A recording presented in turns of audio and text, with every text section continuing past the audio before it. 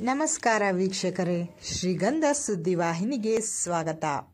ನಾಡಿನ ಸಮಸ್ತ ಜನತೆಗೆ ಶ್ರೀಗಂಧ ವಾಹಿನಿಯ ಮೂಲಕ ದೀಪಾವಳಿ ಹಬ್ಬದ ಹಾರ್ದಿಕ ಶುಭಾಶಯಗಳು. ಅಸತೋಮ ಸದ್ಗಮಯ, ತಮಸೋಮ ಜ್ಯೋತಿರ್ಗಮಯ. ದೀಪವು ನಿನ್ನದೇ, ಗಾಳಿಯು ನಿನ್ನದೇ, ಆರದಿರಲಿ ಬೆಳಕು. ಹೌದು ದೀಪಗಳಿಂದ ದೀಪಗಳನ್ನು ಹಚ್ಚುವ ಹಬ್ಬ ದೀಪಾವಳಿ. ಅಜ್ಞಾನವೆಂಬ ಕತ್ತಲನ್ನು ತೊಳೆದು ಸುಜ್ಞಾನವೆಂಬ ಬೆಳಕಿನತ್ತ ಒಯ್ಯುವ ಹಬ್ಬವೇ ದೀಪಾವಳಿ. ದೀಪಾವಳಿ ಹಬ್ಬವು ಒಟ್ಟು ಐದು ದಿನಗಳ ಹಬ್ಬವಾಗಿದ್ದು, ಒಬ್ಬೊಬ್ಬರು ಒಂದೊಂದು ರೀತಿಯಲ್ಲಿ ಆಚರಿಸುತ್ತಾರೆ. ನಮ್ಮ ಹಿಂದೂ ಧರ್ಮದಲ್ಲಿ ಇದಕ್ಕೆ ಬಹಳ ಮಹತ್ವವಿದೆ. ಮೊದಲನೆಯ ದಿನ ನೀರು ತುಂಬುವ ಹಬ್ಬ ಉತ್ತರ ಭಾರತದಲ್ಲಿ ಇದನ್ನು ಧನ್ತೆರೆಸ್ ಎಂದು ಆಚರಿಸುತ್ತಾರೆ. ಮರುದಿನ ನರಕ ಚತುರ್ದಶಿ ಭಗವಾನ್ ಶ್ರೀಕೃಷ್ಣ ನರಕಾಸುರನನ್ನು ಸಂಹರಿಸಿ ಅವನ ಬಂಧನದಲ್ಲಿದ್ದ ಹದಿನಾರು ಸಾವಿರ ಕನ್ಯರನ್ನು ಬಿಡಿಸಿದ್ದನೆಂದು ಹೇಳಲಾಗಿದೆ. ಇನ್ನು ಅಮಾವಾಸ್ಯೆ ಎಂದು ಲಕ್ಷ್ಮೀ ಪೂಜೆ. ಲಕ್ಷ್ಮೀ ಪೂಜೆ ಮುಖ್ಯವಾದರೂ ಬಹಳಷ್ಟು ಮನೆಗಳಲ್ಲಿ ನೋಮ್ ಎಂದು ಆಚರಣೆಯನ್ನು ಮಾಡಲಾಗುತ್ತದೆ. ನಂತರ ಬರುವುದೇ ಬಲಿಪಾಡ್ಯಮಿ. ಅಂದು ಕೋಟೆಗಳನ್ನು ಕಟ್ಟಿ ಹೂವಿನಿಂದ ಬಲಿಯ ಕೋಟೆಯ ರಂಗೋಲಿ ರಚಿಸಿ ಪೂಜಿಸುತ್ತಾರೆ. ವಿಷ್ಣು ವಾಮನ ಅವತಾರದಲ್ಲಿ ಬಂದು ಮಹಾದಾನಿಯಾದ ಬಲಿಚಕ್ರವರ್ತಿಯಲ್ಲಿ ಮೂರು ಹೆಜ್ಜೆ ಜಾಗವನ್ನು ಕೇಳಿದಾಗ ಒಂದು ಹೆಜ್ಜೆಯಿಂದ ಭೂಮಿ, ಮತ್ತೊಂದು ಹೆಜ್ಜೆಯಿಂದ ಆಕಾಶ, ಮೂರನೇ ಹೆಜ್ಜೆ ಎಲ್ಲಿಡುವುದೆಂದಾಗ ಬಲಿಚಕ್ರವರ್ತಿಯು ತನ್ನ ತಲೆಯ ಮೇಲೆಯೇ ಇರಿಸಿ ಎನ್ನುತ್ತಾನೆ. ತನ್ನ ಪಾಲದಿಂದ ಬಲಿಯನ್ನು ಪತಾಳಕ್ಕೆ ತಳ್ಳುತ್ತಾ ಅವನ ದಾನ, ಗುಣವನ್ನು, ತ್ಯಾಗವನ್ನು ಅಭಿನಂದಿಸುತ್ತಾ ಪ್ರತಿ ಪಾಡ್ಯಮಿಯ ದಿನದಂದು ಭೂಮಿಗೆ ಬಂದು ತನ್ನ ಸುಭಿಕ್ಷವಾದ ರಾಜ್ಯವನ್ನು ನೋಡಿ ಹೋಗುವಂತೆ ಅನುಗ್ರಹಿಸುತ್ತಾನೆ. ಆದ್ದರಿಂದ ಅಮಾವಾಸ್ಯೆಯ ಮರುದಿನ ಪಾಡ್ಯದಂದು ಬಲಿಪಾಡ್ಯಮಿಯನ್ನು ಆಚರಿಸಲಾಗುತ್ತದೆ.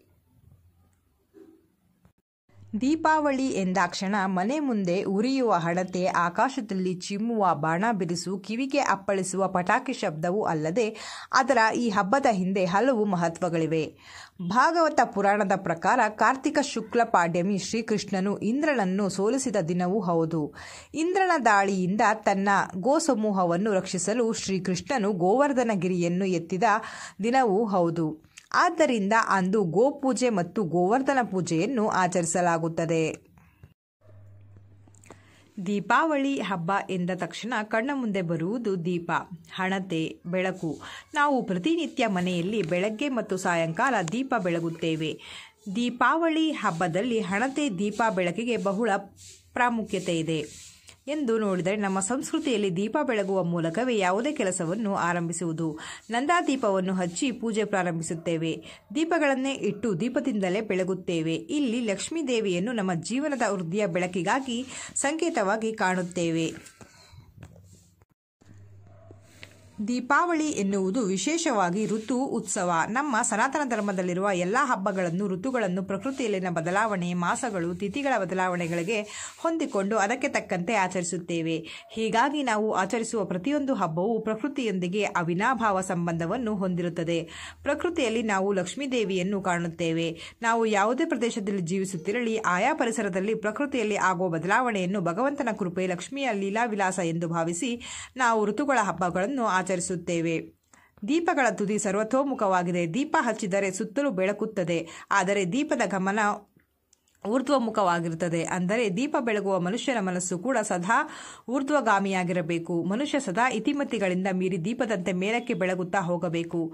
ದೀಪ ಹೇಗೆ ತನ್ನನ್ನು ತಾನು ಉರಿದುಕೊಂಡು ಸುತ್ತಲಿಗೆ ಬೆಳಕು ಕೊಡುತ್ತದೋ ಮನುಷ್ಯ ಕೂಡ ತಾನು ತ್ಯಾಗ ಮಾಡಿ ಸುತ್ತಲಿನವರ ಬಾಳಿಗೆ ಬೆಳಕಾಕಬೇಕೆಂಬ ಎಂಬ ಸಂಕೇತ ಕೂಡ ದೀಪಾವಳಿ ಹಬ್ಬದ ದೀಪದಲ್ಲಿದೆ. ವೇದಗಳ ಕಾಲದಲ್ಲಿ ಎಲ್ಲವೂ ಕೂಡ ಋತೋತ್ಸವಗಳೇ ದೀಪಾವಳಿಗೆ ಯಕ್ಷರಾತ್ರಿ ಎಂದು ಕರೆಯುತ್ತಾರೆ.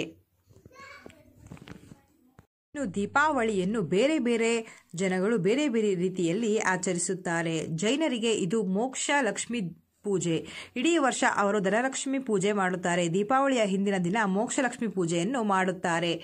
ವೈರಾಗ್ಯದ ದೃಷ್ಟಿಯಿಂದ ದಾನ ಉಪವಾಸವನ್ನು ಮಾಡುತ್ತಾರೆ. ನಮ್ಮಲ್ಲಿ ದೀಪಾವಳಿ ಅಮಾವಾಸ್ಯೆ ದಿನ ಕೇದಾರೇಶ್ವರ ವ್ರತವನ್ನು ಮಾಡುತ್ತೇವೆ. ಕೆಲವರು ಕೇದಾರ ಗೌರಿ ವ್ರತವನ್ನು ಕೂಡ ಮಾಡುತ್ತಾರೆ.